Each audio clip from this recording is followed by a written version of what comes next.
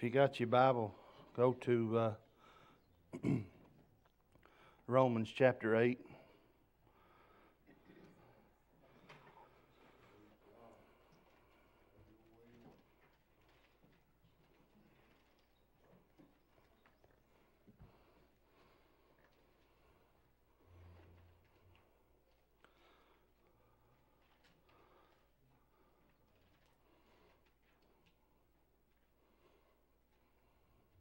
Romans 8, verse 31.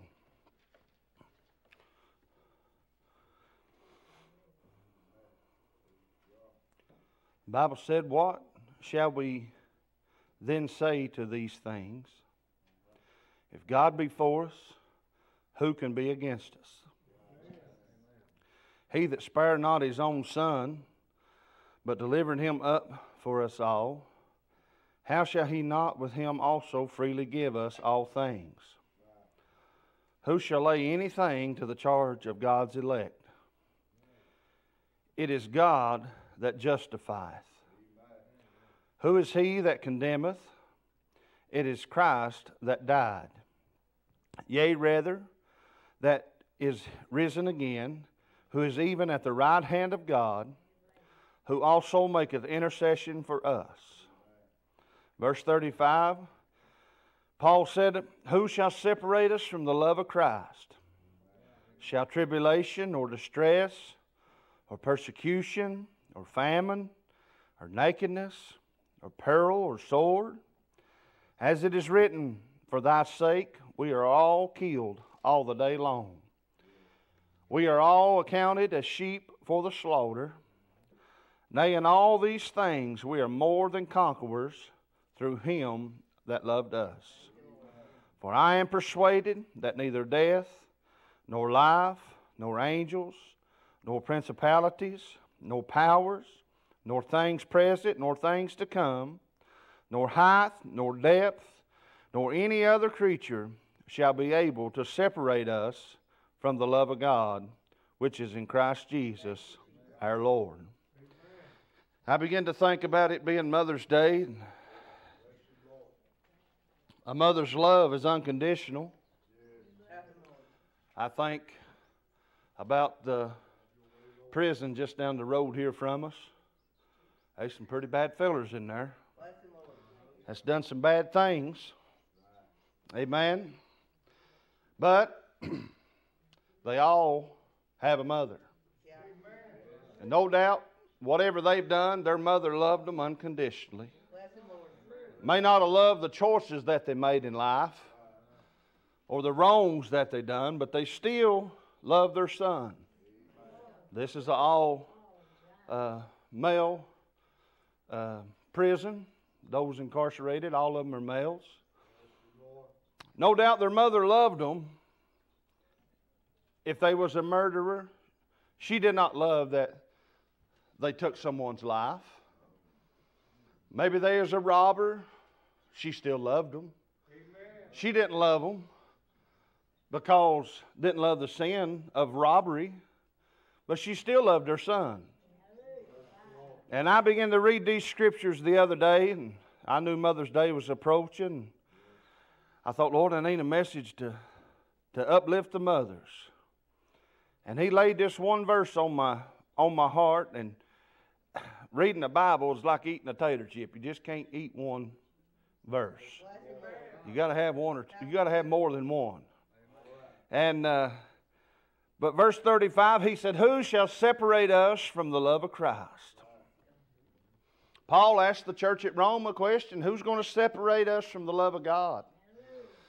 The only one that can separate you from Christ is yourself. But that don't mean that God won't still love you. I said this the other night, maybe it was Wednesday night. If you go to hell, you'll go over the blood of Jesus to get there. If you go to hell, it's not God's choice for humans to go to hell. If you go to hell, you'll go over the blood of Jesus Christ to get there. Amen. It's our choice. We have, amen. The Bible said, Choose you this day whom you shall serve. I choose to serve the Lord. I choose to serve Him. Amen. I love Him because He first loved us. The Bible said, while we were yet sinners, Christ died for the ungodly. I was the ungodly. I was the one. Amen. I was a sinner. I, my righteousness, eh, all the, all the good that I could have done, still it was nothing but filthy rags. Our righteousness, the Bible said, was as filthy rags, no good for nothing. Amen. I, I, do you know what an old dirty rag is? I, I, I relate to it out from the man's perspective, the man's point of view. Working on something, you get your hands dirty, maybe get grease on you and different things. You look and you take that rag and you wipe your hands off, and then that rag becomes soiled, becomes soiled with grease. Amen. And it's hard to get those grease stains out. And you got one or two options: throw it in the trash and haul it off, or put it in a barrel and burn it, or however you want to burn trash. That's the way our righteousness was. The, all the good that we thought that we could do, it was still nothing but dirt. It was still nothing good. Nothing, hey amen, it was not good enough. But in my sin, Christ still loved me. All the wrong that I've done, He still loved me. Amen. You know, I'm afraid, I'm afraid as human beings we can commit murder and never swing a sword, throw a knife, or fire a gun. Huh? Never lay hands on nobody, but we can become murderers by what we say. Amen. Jesus told us, He said it would be better that a millstone be hanged about your neck and you cast into the depths of the sea than to offend one of these little ones. Amen. People said, well, that was, Jesus was talking about the children. Well, I'm a child of God. Amen. Amen. I'm a child of God. How about you, neighbor? Amen. What shall separate us? Or the Bible said, who shall separate us from the love of Christ? Amen. People says, I, I can't go to church. Why? Why can't you? Like Jimmy said last night, uh, listen, it's not a time to hold back. Preachers need to cry loud and spare not and lift up their voice like a trumpet. Amen. Jimmy said it last night, and I got thinking about it. They're standing in line. Most roller coasters are, are 60 to 90 seconds. They go so fast. Sometimes they'll stand in line an hour, maybe two, maybe three. And they'll squall to the top of their lungs while they ride that ride. And like Jimmy said last night, they'll get off that ride and they'll go get right back in line. Amen. Amen. Spent half a day standing in line for two to three minutes worth of screaming. Well, just get in the car with me. You won't have to stand in line. I promise you, I'll make you scream. Huh? Sometimes Brooke squalls at me, and I ain't trying to make her squall. Amen. But who shall separate us from the love of God? Amen. Who? What is it? What is that that would separate us from the love of God? People say, well, I can't go to church with so and so. Well, if you can't go to church with them, how do you think you're going to go to heaven with them? Amen. How do you think you're going to go? There's only one heaven. Go to Ephesians 4 and read what Paul was writing to the church of, at Ephesus. There's only one heaven. There's only one Lord. There's only one God. Amen. There's a lot of little g gods, but there's only one big G God. Amen. Who shall separate us from the love of Christ? Amen. You mothers in here, no doubt you've loved your children down through the years. Amen. Maybe they've not always made the right decisions.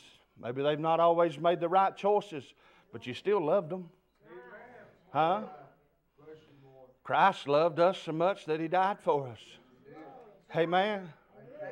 He even prayed in the garden. He knew what was coming upon the flesh. He knew the pain and the agony and the suffering that was coming his way. And he prayed, Father, if it be your will, let this cup pass from me. He prayed and he cried aloud. Lord, I, I, in other words, I know what's coming. He already knew the suffering that he was going to endure. And he was praying to the Father, if it be your will, let this cup pass from me. The flesh did not want to endure what was getting ready to happen. But then the Spirit took over. And the prayer went like this Nevertheless, Father, not my will, but thy will be done. Huh? Who shall separate us from the love of God? Who shall separate a mother's love from their children? Amen, somebody. Huh? I, remember Dad giving an illustration like this one time, and, and uh, I want to use it this morning.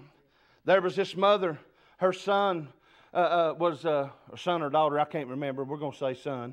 It's my story, I'm telling it now, so it's going to be a son. Uh, but uh, her, uh, her son was in, a, in, in band class at school.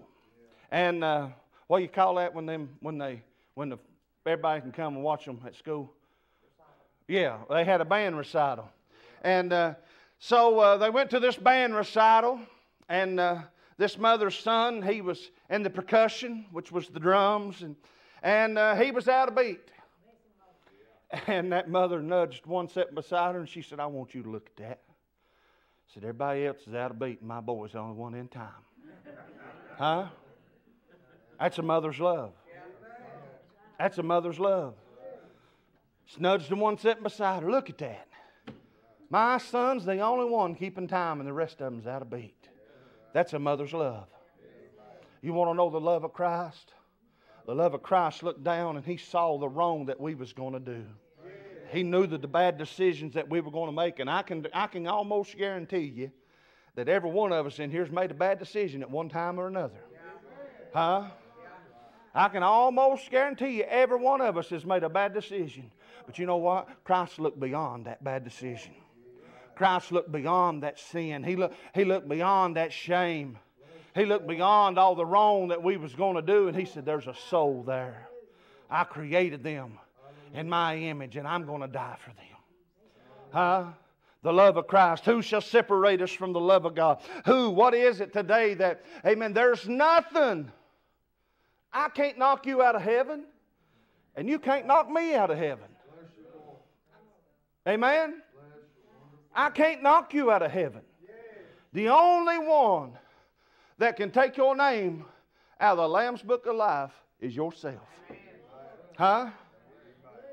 Well, preacher, what do you mean? He said, I, the Bible said, I will not dwell in an unclean temple. Amen. We profess that we love God. We profess that we love Him because He first loved us. We profess that we love the Spirit of God, the Holy Ghost. But the Holy Ghost said, I'll not dwell in an unclean temple. I won't dwell in ungodliness. I won't dwell in unrighteousness. Huh? Who is it that's living unrighteous? It's the one that does not want to do what thus saith the Word of God. Amen. Mom's sitting here this morning, and she can tell you this that uh, if I had an open book test and I failed it, Dad would get pretty mad at me. And he would say, Son, you didn't apply yourself.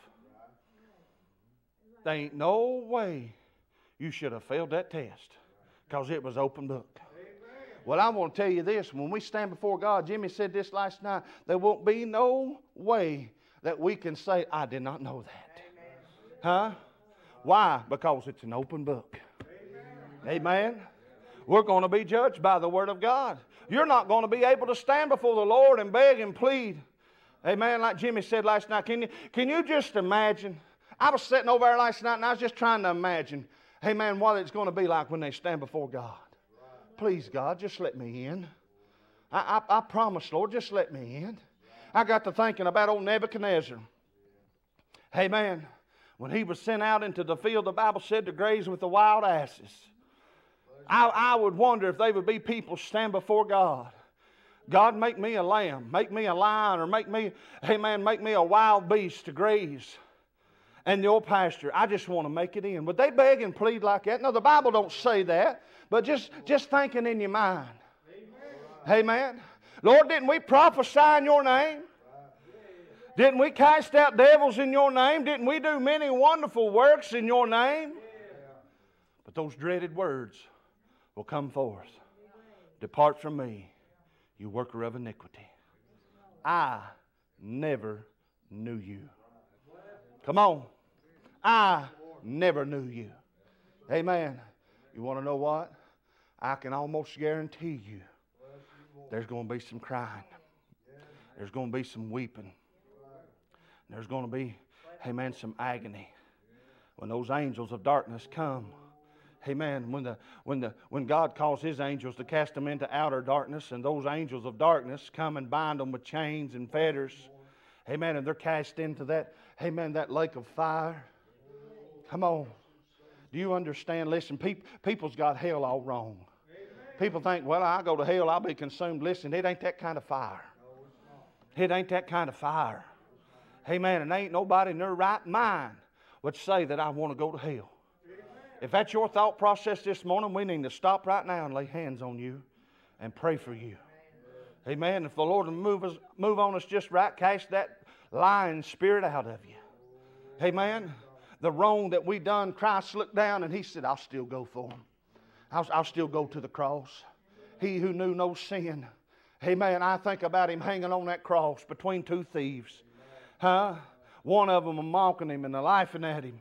If you be who you say you are, get down off of there. And that other thief saying, Shut up. He don't deserve this, we do. Huh? Think about that, neighbor. Come on. The middleman. Amen. Preached a message one time on that, the middleman.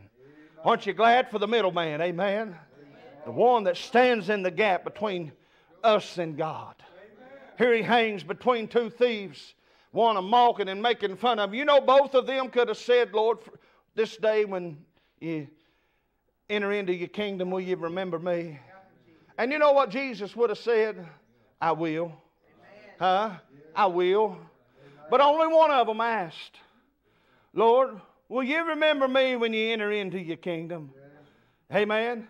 What Jesus do? He looked over at him and he said, This day this day thou shalt be with me in paradise. That's the love of Christ. That man was being put to death, a thief, capital punishment. That man was being crucified for the wrongs that he had done. But the Savior was hanging on a cross beside him. And he looked over and he said, This day thou shalt be with me in paradise. The love of Christ, who shall separate us from the love of God? There is nothing that can separate us from the love of God. I'm telling you, church, listen. I've been in this prison over here. I told you once before, there was a man that used to come to Bible study over there. He himself, or he had had it done, was responsible for 37 murders. Or 36, I'm sorry, 36 murders. Huh? But he come to Bible study and he asked the Lord to forgive him. Do you believe the Lord forgive him? I believe he did. Paul was a murderer and God, and God forgive him. Huh? And I remember, I, I'm telling you, I remember like it was last night. The chaplain said, he told uh, David, he said, uh, uh, Dad, he said, Dave, he said, I'll, I'll show you who it is. You see, when we went in, we had to go in and we had to be locked in a room, and uh, the prisoners had to make a move. There's uh, a call come over the intercom, and it was time for them to move. Well, if we wasn't locked up, we was in harm's way. Well, once all the prisoners made their move, we was able to go into the chapel. And uh, so while we was locked up, Dad began to think about it. And I didn't know what Dad was thinking. All right, here come the chaplain. He said, all right, boys. He said, everything's good. You're ready to move. Dad, I remember him telling that chaplain, Chaplain Waters, he said, Don't tell me who that guy is. He said, Do what? You don't want to know who he is? He said, No. I don't want to pass judgment on him. Huh? I don't want to know who he is. If Christ forgive him, I don't need to know who he is. I don't need to know what he's done. Huh? You see, that's the love of God. And I'm not bragging on my daddy, but honey, that's the way it should be this morning. Christ, amen, forgets about the wrong that we've done when we come to Him with a broken heart and a contrite spirit. Christ forgets everything that we've ever said and we've ever done. Amen. That's the love of Christ. And we say we're Christian, which simply means to be Christ like. But do we forget about the things that happened in yesteryears? Huh? Do we forget about the wrong that we've done to others or others have done to us or both?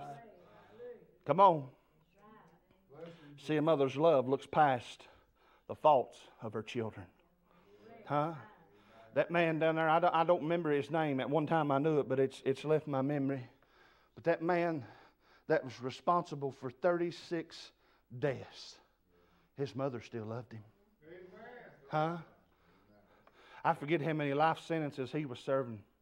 He was, he, he was not going to see outside of concrete, razor wire, and fences the rest of his days. He was going to die in prison. Huh?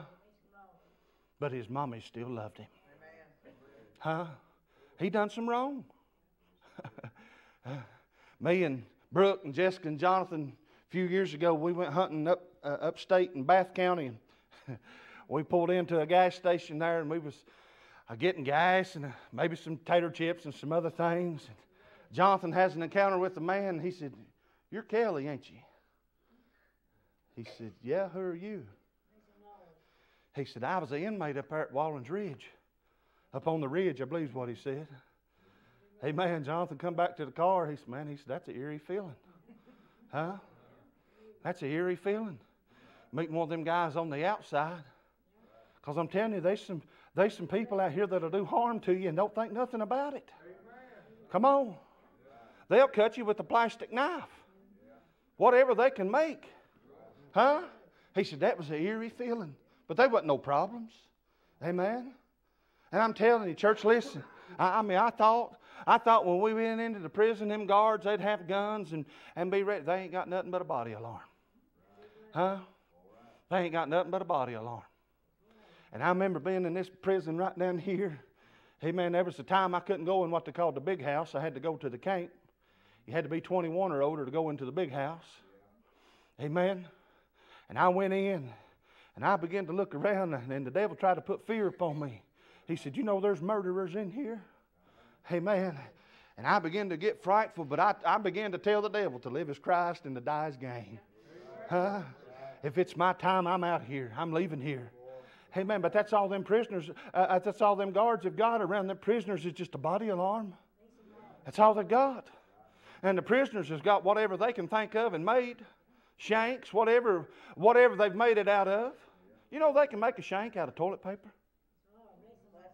And get it so sharp that it'll cut your throat. Now you think about that. Huh? But you know what? All the wrong that they've done, a mother still loves them. Come on, somebody. And as much as that mommy loves them, there's a Savior that died on a cross for their sin. There's a Savior that hung on a cross, amen, between two thieves in agony and in pain. He knew no sin, but He became the sin that we could have a way of escape. Who shall separate us from the love of God? Huh? Who? There ain't nobody in here can separate you from the love of God except yourself. Yourself. Huh? He said, I'll not dwell in the unclean temple. Amen.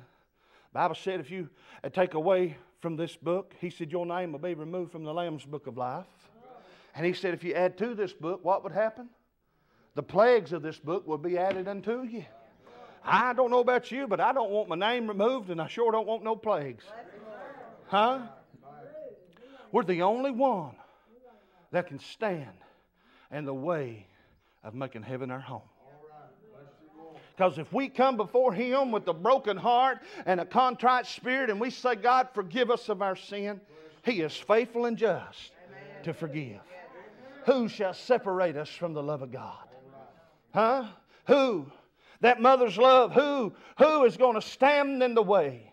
No matter what the choice of the child has been, that mother still loves them. Huh? I think about this ain't a mother, but it's a father. About the prodigal son. Hey, man, do you know that father, when his son was gone, he was no doubt in anguish, praying for his son. I believe he was praying for him. Don't you? If your son was gone and you didn't know where he's at, wouldn't you be praying for him? Huh? Wouldn't you be praying for him?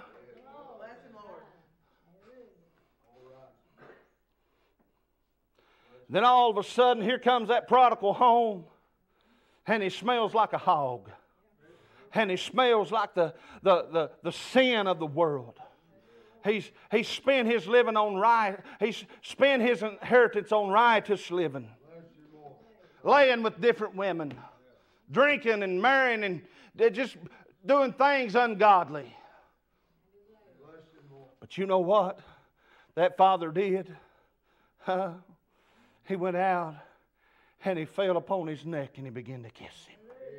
Huh? And he said, Let's put a ring on his finger. Bring a fine robe and let's put upon him. Huh? My son, which was lost, is now found. Come on, neighbor. We ought to be rejoicing when a saint of God comes and give their heart to the Lord because the angels in heaven are rejoicing over just one soul that repents. Church, that's what it's all about. A mother's love, a parent's love is unconditional. It's unconditional. Did you ever do anything to disappoint your parents? I did. I kept a lot of things hid, didn't I, Mama?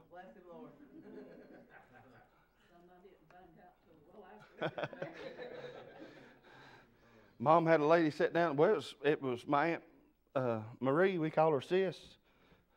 She was talking with mom. She said, "I can't believe what all your son's done." She said, "What are you talking about?" She said, "He gave his testimony how that God brought him out of partying and drinking alcohol." And she said, "You must be mistaken. That ain't my boy." well, it's sad to say, but it was. I'm not boasting. I'm not bragging. We've all made bad decisions. Huh? We've all made bad decisions. Jimmy, was it you took that razor and cut up your mama's uh, chair? Was it a chair or couch one? that wasn't a good decision, was it? And no doubt Zuane was mad, but she still loved him. Huh? You probably got a whooping over that, didn't you? Huh? he said he got the blood cut out of him. She didn't do that because she hated him, did she? She loved him. She realized the danger as he was cutting up that cushion. Hey, man, he could have slipped and cut a main vein or a main artery and bled to death. A razor blade. Huh? Boy, I'm telling you, I got some whoopings growing up. I deserved every one of them and, and probably three times as many that I got. I didn't always make the best decisions, church. Even though I had God fearing parents that would say, son, you don't need to do this. Guess what? That little old teenage punk thought he knew more than what mom and daddy knew. And he did it anyhow. Huh? We've all made bad decisions. Come on. We've all made bad decisions. But you know what? That mother and that father, they've stood right there with open arms. I love you. I love you unconditionally. Come on, somebody. Zuane loved Jimmy, honey. She, even though she whooped him, cut the blood out of him, uh, she still loved him. She still loved him. I told Brooke the other day, we was loading or unloading the dishwasher. We was both in the kitchen, and there's a cutting board. I don't know, it's probably about the size of this tablet with a handle. And I said, I remember when I was in kindergarten seeing a paddle like that. I said, Do you remember that? She said, No, they was done away with the time I got in school. I said, Man, I'm old. but I remember I was in Miss Ford's class and I was as tall as she was. She was a little short lady. And uh, and, and Elk Knob, I don't know if it's still the same way, but they was two classrooms and they had a Jack and Jill bathroom. You know what I'm talking about? You went in the classroom from the hallway, went into this classroom or this classroom, but you could get to the bathroom from both classrooms once you was in there. And uh, when you got paddled, there had to be a witness. And uh, fifth grade class, Miss Wolliver, Jimmy Wolliver was her name. And uh, she'd come over there and she said, Miss Ford, can I borrow you for just a minute? And she said, All right, class, now you color and do this, that, and the other. And they'd go in there and they'd shut them doors, honey, and I'd hear it. Huh? Three licks. I'd hear some crying after that. Come on. Bible said in the book of Proverbs, you spare the rod, you hate the child. Come on, somebody. That's what's wrong with the world today. They've not had the correction that they needed. The many times that mom whooped me, and the many, dad didn't whoop me a whole lot. He'd make me right because he knew mom done whoop me. But they did that because they loved me. Come on. And that's why I'm such an angel today. I still make mistakes. It's all right to smile. Amen. It's all right to smile. You see, the, I see a generation that's coming up behind us that's not had no correction. Huh? It's not had no discipline. Amen. And they're running wild. Come on, somebody. Come on. I'm talking about, I'm talking about single digit kids. When I say single digit, nine and younger, that'll cuss their parents to their face. Huh? Call them ungodly names. And the mother and the father won't do nothing about it. Probably because the father ain't nowhere to be around nowadays, just to be honest with you. And I'm not beating up on nobody. I'm just telling you how that this world has become. Amen. And you've got children that's telling their parents, if you touch me, I'll sue you. I'll call DSS on you. I'll do this and I'll do that. It's, it's my right. Listen, I'm telling you what, mom and dad would have been put in jail if I was a kid nowadays, the way I was raised back in my raising. Mama never did beat me just to be beating on me. Huh? Now, there was times that I'd say stuff that I shouldn't have said, but it wasn't, or go get a belt, pow. It was a backhand or a front hand right in the mouth. Huh? And she said, Son, don't you sass me. Come on. That was a mother's love. I learned respect. I, I, I was bad to tell lies. Huh? Mom couldn't stand for nobody to lie to him. I'd get a whooping. Huh? She said, Son, you've lied to me. You've lied to me. She said, I can't stand it when you lie to me. She would, she'd tell me, she'd say, I'd rather you tell me the truth. Your punishment wouldn't be near as bad if you would just be honest with me. But you've lied to me. Huh? She knew. But you know what? Christ knows. And He chastens us. He chastens those He loves, He rebukes those He loves. Aren't you glad for the love of Jesus Christ that'll give us some correction and some direction? Huh? Aren't you glad when you pray? I hope you don't pray with your fingers in your ears. I hope you pray so that the Lord can talk back to you. Huh? Son, I need you to do this. I need you to do that. Come on. I need you. I need you. You, you, you need to go to so and so and ask them for forgiveness. You need to do this, you need to do that. I'm telling you, I thank God for His love and His correction and His chastening. He does not chasten us because He loves us. I mean, because He loves to see us afflicted. He chastens us because He loves us. And He wants to see us do right. We're living in a day and an hour where you can't find a lot of the old time Pentecostal churches. They say they're Pentecostal. And listen, I'm not here to preach on the clothesline. But like Jimmy said last night, when you get what the Word says in your heart, honey, it's going to start showing. It's going to start showing. I thought about last night when he, he was talking about the hypocrites, how they just wash the outside of the cup. Do you want to drink out of a dirty cup? You want to eat out of a dirty plate? We was cleaning the church up up there, and and uh, found an old glass pop bottle. And Brooke washed it, and she's got all the dirt off the outside. And uh, we ain't got a brush long enough. It, we got one small enough, but it ain't long enough to get all the dirt off the inside. Amen. And I told her, I said, I don't know when. I think it come out from under the, the old Sunday school rooms that was built on the on the uh, railroad right away. I don't know when them was built. I said, but that's got a few years on it. That old bottle's got a few years on it. And there was others, but this one wasn't busted. I had busted some others with the machine. But uh, what good is that bottle if you can't get the inside clean?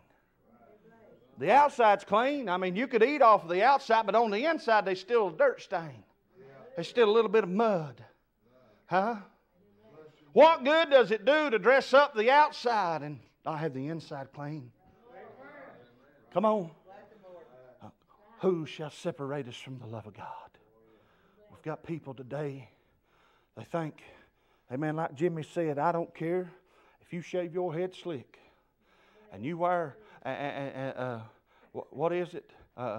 a collar. It ain't a collar. There's people, just because they wear a certain type of clothing, they say they're a minister.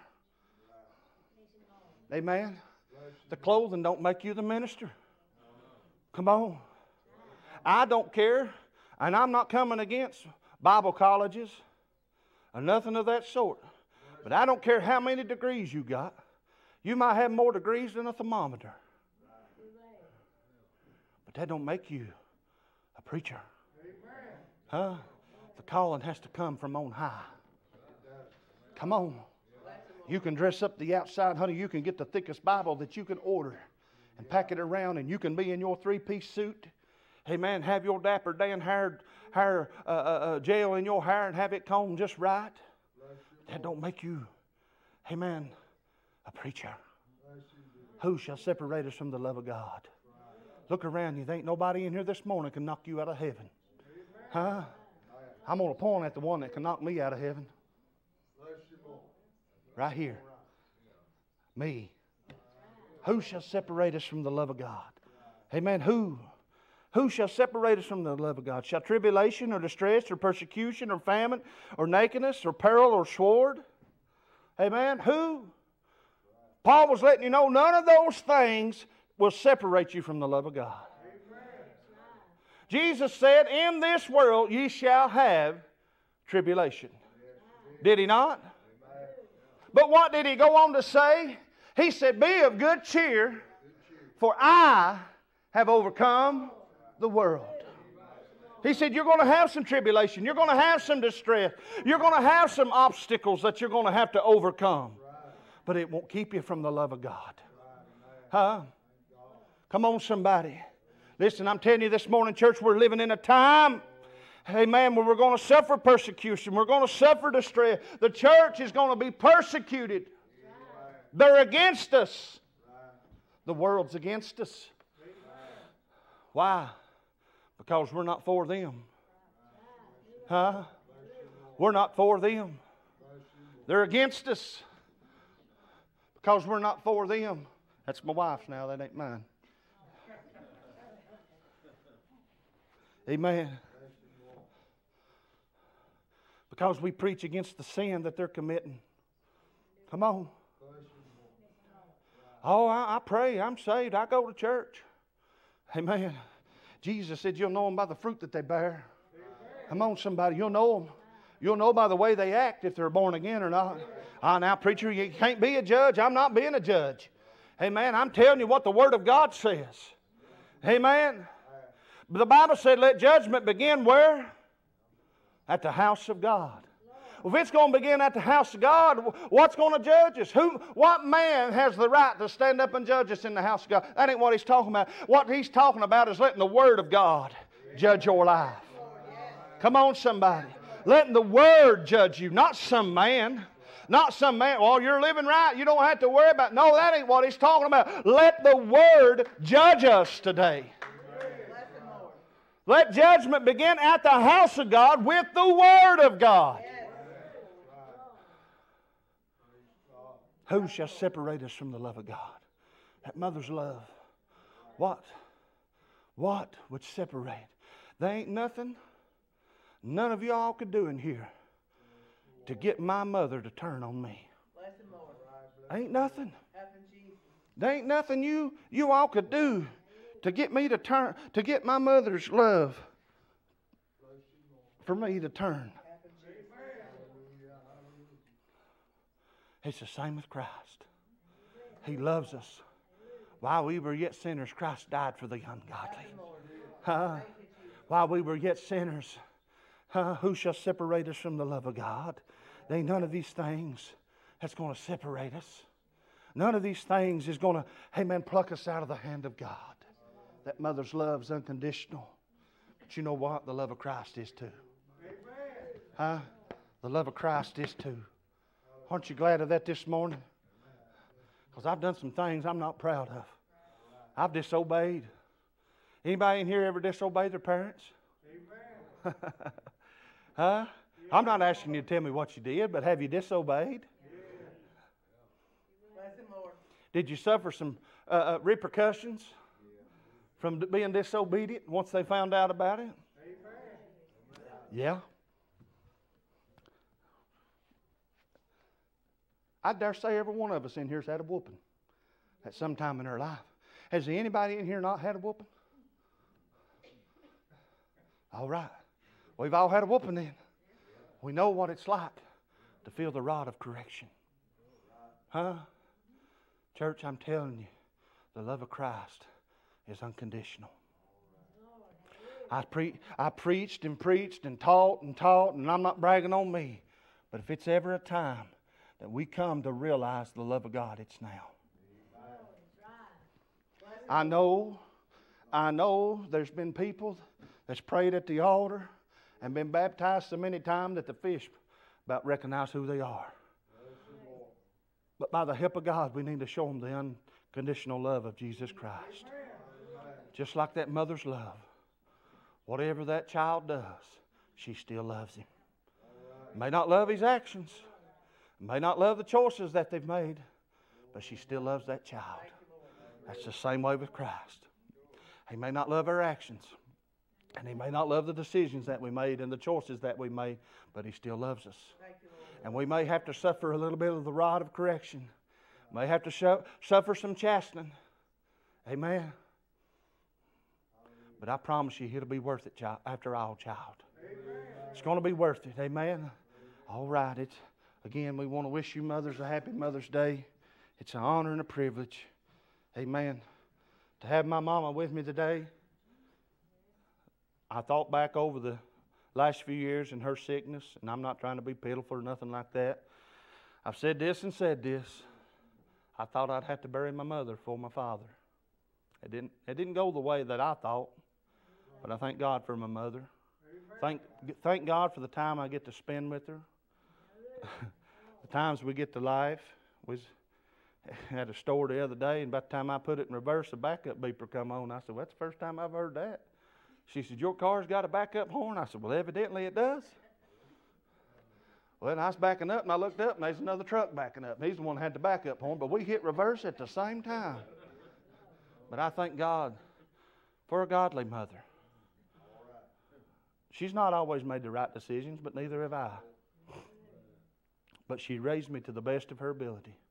And so did my father. All of my family. I look up to my family. We've had differences at times, but I still love them unconditionally. I love them. I love them with a great love.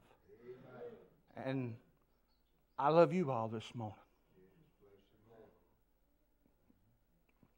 Every one of you. You're my family of God. I can depend on you. Mama was feeling bad the other day and got sent to the ER and different things. And I started texting. Amen. Those who didn't have Facebook, I started texting. I sent out a, I sent out a, a, a mass text or whatever you call a group text. I said, Mama needs prayer. And I knew you all would pray. I thank God for my church family. I don't want nothing to separate us from the love of God. Nothing. Nothing to separate us. I want us to be knit together with sinews. An unconditional love between us all. Because I'm telling you, the devil's tried to stop this church for quite some time now. But we're still motoring on with the help of God. And as long as we keep Christ at the center of whatever we do, we'll be all right. We'll be all right. As long as we come together in the name of the Lord Jesus Christ, we'll be all right. There is no other name in heaven whereby men must be saved than the name of Jesus. Amen. Who shall separate us from the love of God? We need one another this morning. I love all of you. Love you with a, a love that cannot be explained except for Jesus, the love of Christ. Amen. I've tried my best this morning. Hope it's been a blessing to you. Amen. Maybe not the uh, Mother's Day message that you would think, but listen, I still give honor to the mothers. But I want to get, I want to share with you what Christ gives me to share. Because if I don't, it'll be a mess for me and for you. Amen. We love you today. God bless you. Turn